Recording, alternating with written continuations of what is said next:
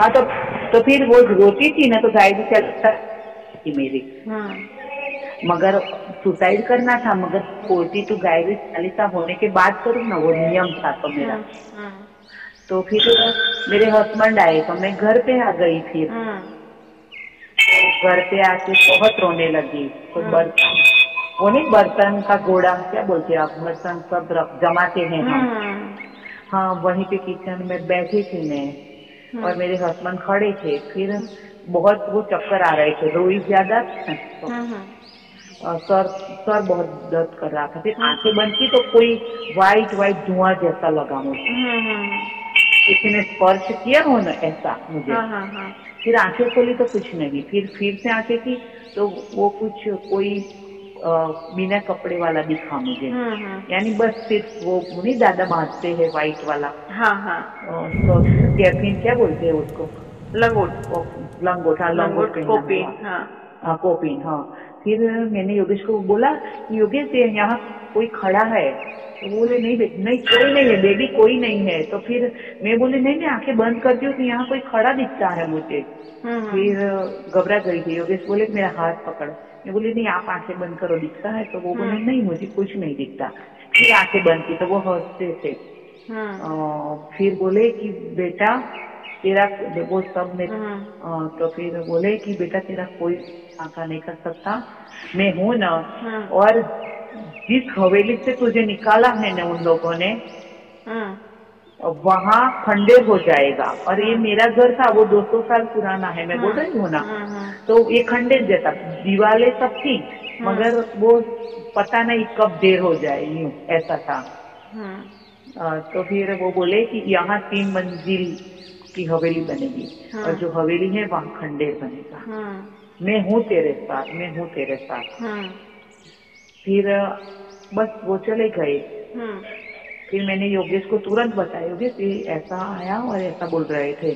कौन हो गए थे? योगेश बोले कि दूधाधारी महाराज होंगे क्योंकि दूधाधारी महाराज की ही ये जगह है यूँ। हाँ, फिर वो नाग निकलता था हर रोज। हाँ, फिर नाग भी निकलना धीरे धीरे मैंने बहुत प्रार्थना की कि कि गुरुदेव आपने बोला है और मैं रह रही हूँ और मुझे डर लगता है आप आते हो तो फिर नहीं दिखाई नहीं देते।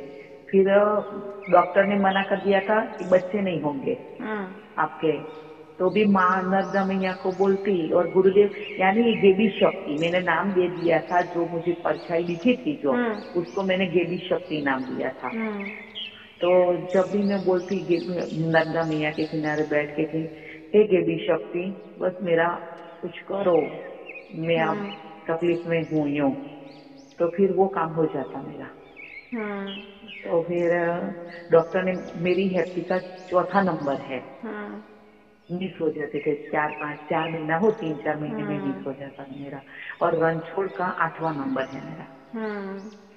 डॉक्टर ने रणछोड़ के वक्त को मना कर दिया था कि अब नहीं होगा। फिर भी रणछोड़ हुआ। जब रणछोड़ सीजर है, मगर जब रणछोड़ पैदा हुआ ना तो वो पल, पलट ही पंक्ति लगाए हुए था और ध्यान में बैठा हुआ यूँ उंगली। हम्म। वो ना ध्यान मुद्रा में था। दो तीन महीने तक वो ध्यान मुद्रा में ही रहता। छोटा था ना तब। और रणछोड़ था यानी कृष्ण की मन्नत मानी थी मैंने। तो उसको लेके यानी पैदल उसको लेके मैं रणछोड़ राय डाकोर गई थी।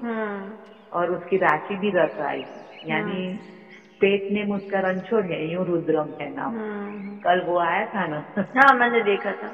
हाँ कल आया था वो। यानी बहुत पुराना रिश्ता। अब तो पर फिर जब भी याद करती ना देवी शक्ति करके। और आठ साल पहले परिक्रमा की तो भी क्यों की पता नहीं। और जब भी परिक्रमा में मैं तो जंगलों से चलती। जब भी है देवी शक्ति मैं तो कर रही मुझे पता नहीं है। तो तुरंत काम हो जाता। फिर एक पहाड़ी में यही यही चेहरा यही दादा।